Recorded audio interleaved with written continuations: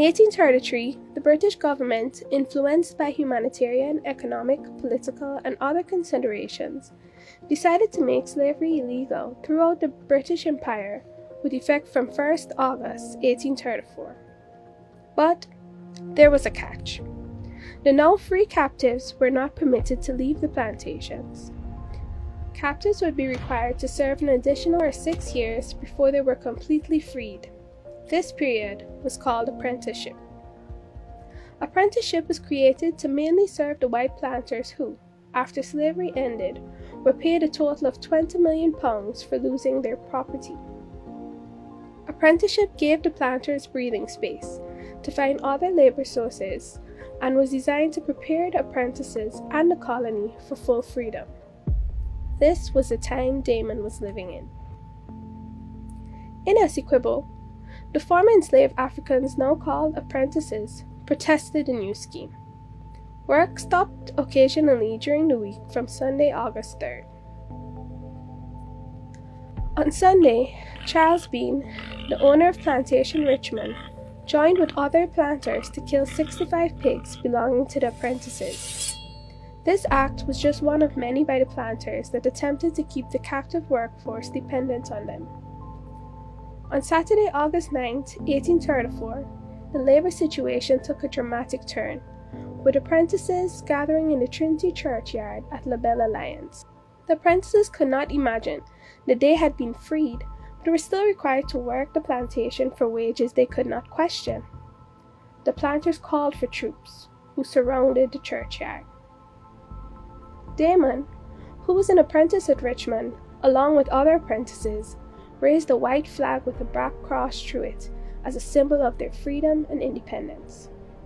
More and more apprentices from the plantations between Richmond and Devonshire Castle gathered in the churchyard stopping work convinced that Bean and other plantation owners were trying to steal their freedom.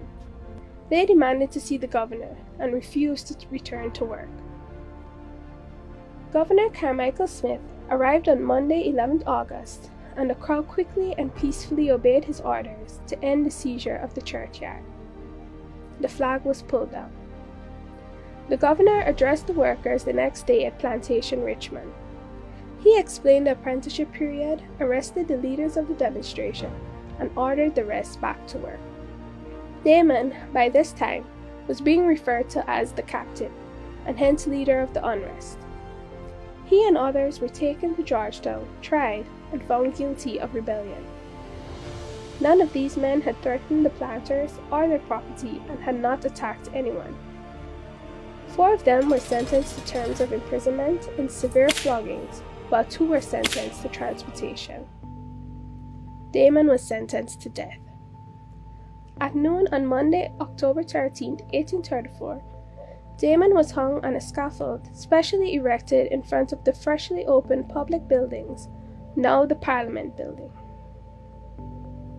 Damon's peaceful resistance has left a lasting impression on the people of Essequibo.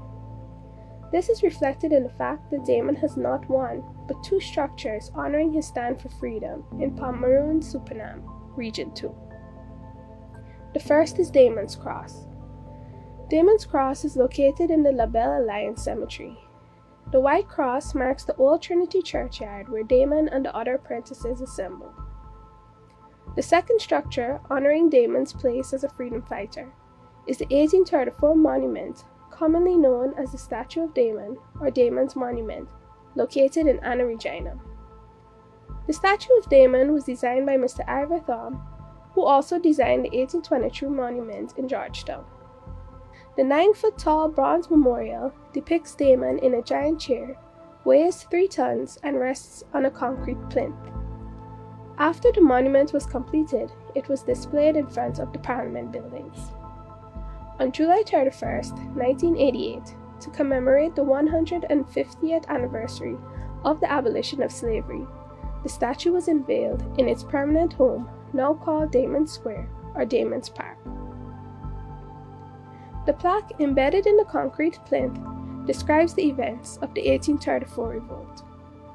Hugh Tommy Paine, in his book 10 Days in August 1834, described Damon's stand as the continuation of the Guyanese fight against colonialism, which began with our indigenous peoples and continued with our ancestors as they made Guyana their home, a fight that continues to present day. May we always honor Damon, who sacrificed his life for freedom and said in his own words, I forgive everybody, and I hope I put my trust in Jesus.